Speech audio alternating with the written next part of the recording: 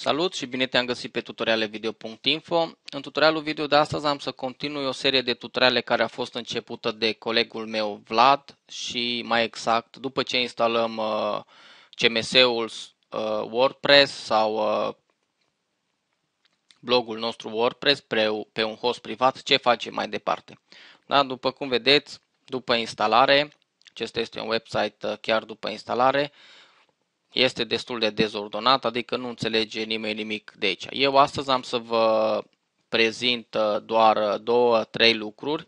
Primul, prima parte de care o să ne ocupăm va fi partea de customizare, adică ne vom alege o temă gratuită, ne vom pune două widgeturi, adică două aplicații cum ar veni, sau două programe, ca să customizăm puțin uh, WordPress-ul nostru și vom crea și un meniu, vom adăuga un logo și așa mai departe. Acum probabil mulți o să mă întrebe, păi uh, noi dorim o temă mult mai uh, interesantă, mult mai uh, nouă. Teme pentru WordPress sunt o sumedenie, aveți de unde alege, căutați pe Google Team Forest sau doar căutați uh, teme WordPress și veți găsi foarte multe. Haideți să vedem. Deci vom scrie WordPress Teams, da? Mai scriem și un free și 2013 să vedem ce este în uh, ce teme sunt în uh, în vogă anul ăsta sau ce teme se folosesc mai exact. Da? Și de aici aveți de unde alege, sunt foarte multe teme. Eu, unul, la început mi-am petrecut câteva zile chiar să-mi găsesc o temă. Cum totul uh, despre temă, când vorbim despre temă, depinde și tema website-ului vostru. Da? În cazul nostru va fi un blog și așa că eu am să aleg uh, tema 2012 care vine default de la WordPress pentru că ne este mai ușor să o, să o customizăm. Nu vom face o customizare foarte mare, eu doar am să vă prezint uh, puțin aranjament. Da?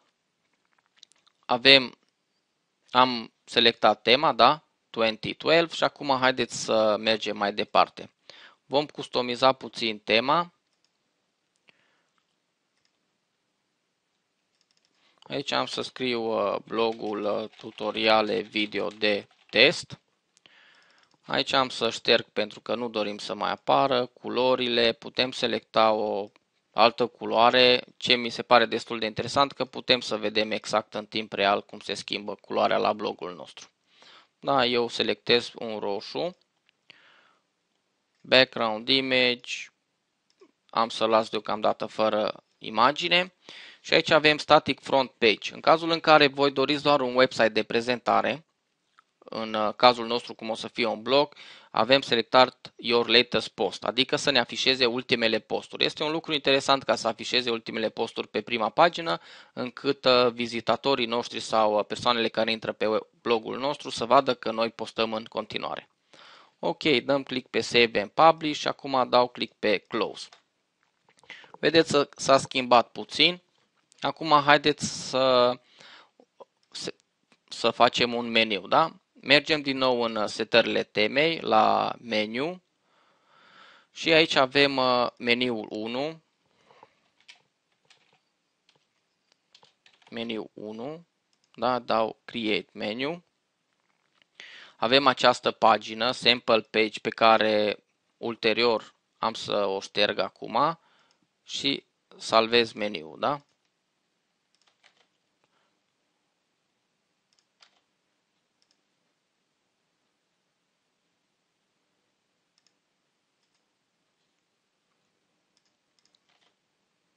Vedeți că a dispărut uh, sample page.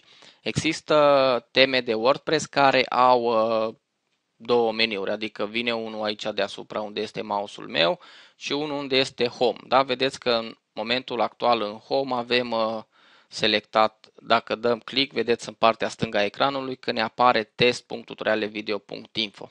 Adică dacă dăm click ne redirecționează către prima pagină.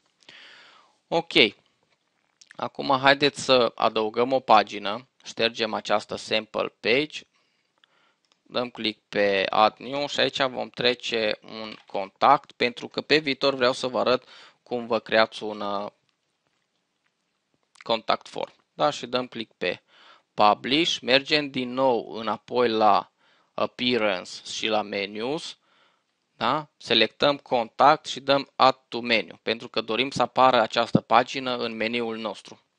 Ulterior vom pune și categoriile, însă momentan nu avem creată nicio categorie, da? Și avem, vedeți că dacă dăm click pe contact, ne va apărea o nouă pagină pe care am să o editez într-un alt tutorial video, pentru că acolo am să vă prezint un plugin cu ajutorul căruia creați foarte, foarte ușor o pagină de contact. Bun, acum haideți să mai umblăm pe la pagina noastră și vedeți că pe prima pagină avem aici Recent Post, Recent Comments, arhivele, categoriile și meta, da? De acest meta nu avem nevoie, dăm click pe Delete, nici de categorii, pentru că categoriile ulterior le vom pune în meniul nostru să fie aranjate, frum, aranjate frumos, nici de arhive, avem nevoie de comentariile recente și de bara de search. Ok, am să dau din nou un refresh ca să vedeți cu ce am mai rămas. Acum haideți să scriem un post nou, mergem la post, add new și aici am să scriu acesta este primul post de pe blogul test. Blogul test, primul blog test. Am să scriu acest lucru de mai multe ori. Ok. Acum haideți să vă arăt puțin când postați un blog ce, se, ce aveți aici. Avem acest meniu în care cu ajutorul acestui B sau cu prescurtarea Ctrl B putem să ne îngroșăm literele. Pentru cei care au lucrat cu uh, Microsoft Office sau cu orice editor uh, text, le, le va fi foarte ușor pentru că se cam aseamănă ce vedeți aici sus. Da? Cu următoarea funcție înclinăm scrisul, cu următoarea funcție tăiem peste scrisul nostru. Ok, acum am să vă arăt, uh, punem aceste buline și scriem salut ce mai faci. Vedeți că dăm enter ne mai apare o bulină, întrerup. Acum avem 1, 2, 3, da, să fie cum să faci un website. 2. Cum să postezi pe un website. Acest lucru cu postatul nu este foarte greu. Bun. După care avem uh, aceste trei categorii, adică să ne aliniem textul în partea stângă, să ne aliniem textul pe centru, să ne aliniem textul în partea dreaptă. Ok, atât despre modificarea textului în uh, acest prim tutorial. Acum, haideți să trecem la categoriile. La categorie. Categoriile unui website sunt foarte importante de la realizarea acestuia. Pentru că mai încolo, când o să ajungeți să aveți uh, câteva zeci, sute de posturi, va fi destul de complicat să remodificați sau să editați o întreagă categorie, adică o să aveți ceva de lucru. Așa că voi trebuie să știți cam de la început ce doriți să scrieți pe blogul vostru. În cazul nostru am să scriu uh, Windows, pentru că eu știu sigur că am să scriu despre Windows și vedeți avem selectată categoria Windows și la Windows voi adăuga o subcategorie și acest lucru fac prin următorul pas. Selectez categoria Windows pe care deja am creat-o și aici am să scriu 7, adică vreau să eu pe viitor sunt sigur că am să scriu despre Windows 7 și în acest fel am adăugat categoria Windows 7. Tagurile sunt foarte importante. Despre taguri, Word, uh, SEO, Search Engine Optimization vom vorbi tot pe viitor, pentru că pentru a pune un blog pe picioare este foarte important să știți baza acestuia. Ok, aici la taguri am să scriu uh, câteva taguri, test, blog test. Aceste taguri trebuie să fie relevante la textul pe care l-ați scris voi în, uh, în uh, postul vostru, da? Test, primul bloc, bloc test. Eu am scris doar uh, așa ca să nu pierdem timpul. Mai adaug încă două taguri și acum avem această opțiune Set Featured Image, adică să adăugăm o imagine care să fie la postul nostru. Am să selectez o imagine pe care o am în calculator aceasta cu pinguinii, pentru că am făcut o reinstalare de Windows de curând și nu am salvat multe imagini în calculator. Bun, s-a uploadat imaginea, dăm click pe Set Featured Image. Ok.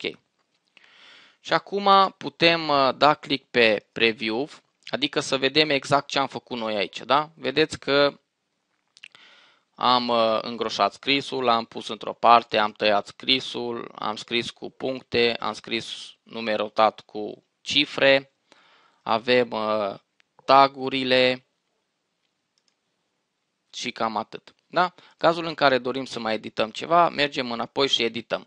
Doar când apăsăm butonul Publish, în final, atunci se va posta uh, articolul nostru.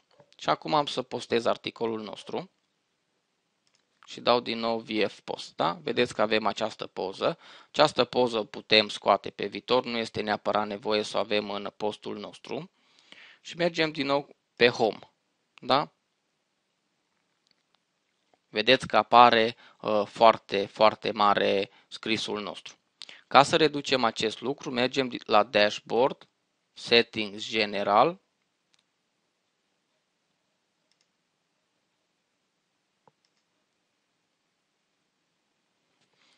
Da? Aici la Settings, Reading, selectăm sumarii, adică să ne prezinte doar un text sumar. Și dăm un refresh. Da, am să mai postez între timp uh, câteva tutoriale, ca să, adică tutoriale, câteva texte, ca să vedeți exact uh, cum uh, apare textul pe pagina noastră. Până atunci, dacă aveți întrebări, comentarii, nu ezitați să ne contactați. La revedere!